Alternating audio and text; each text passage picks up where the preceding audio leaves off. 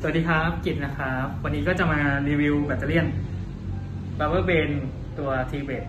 ตัวกันขอบนะครับ รุ่นที่สองสำหรับการใช้งานนะครับ แกะกล่องมาก็ความคมเขาก็จะบอกว่า รับคมมาให้บ้างแล้ว นี่ก็ลองดูเลยครับสำหรับการจับก็ถนัดมือนะครับแบตเตอรี่ค่อนข้างเล็ก แล้วก็ที่สำคัญก็เสียงค่อนข้างเบาครับ ไอ้ที่เบานี้เรายังไม่ได้เปิดหรือเปล่า อันนี้เราก็จะกัน V นะครับ ดูความคมนะครับอืมก็จะกันได้ละแล้วเราก็จะตัดทางช่วงท้ายนะครับขัดก้มหันนะครับ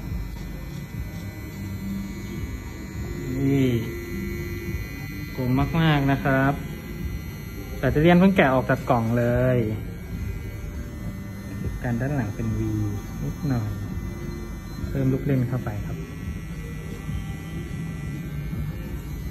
สามารถถ่ายได้นะครับ ก็ค่อนข้างเกลี้ยงครับ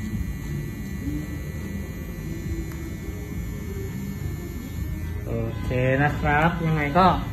ฝากไว้ด้วยนะครับ